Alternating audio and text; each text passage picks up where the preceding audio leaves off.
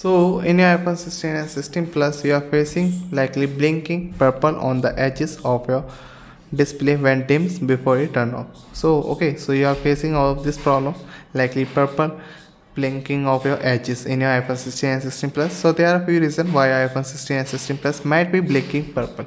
First of all, we have to know about likely software issue and this is a known issue that could be iPhone 16 and 16 Plus models have. Apple have released a software update that fixes this problem. Make sure that your iPhone is running the latest version of iOS. Okay, if you have to update it of your iOS, likely going to your setting and general and software update here.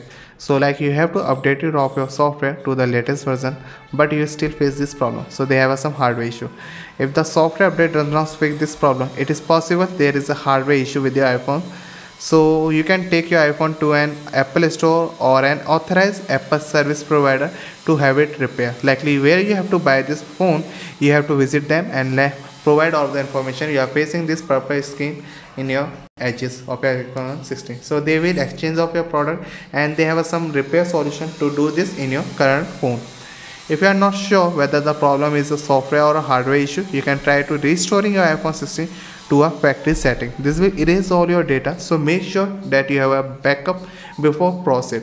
It restoring your iPhone to its factory setting does not fix the problem before visiting to Apple Store. So like I have to show you. So like we have to enter setting and general and here we have to find out how to transfer or reset iPhone. Here is now you will see option is here reset content set and setting. Okay so we have to tap on this and continue. So that's how you can erase all of the data in your device and give them a fresh system of your iphone. Now see problems will persist or not. If persist so as a last resort we have to visit apple store. So thank you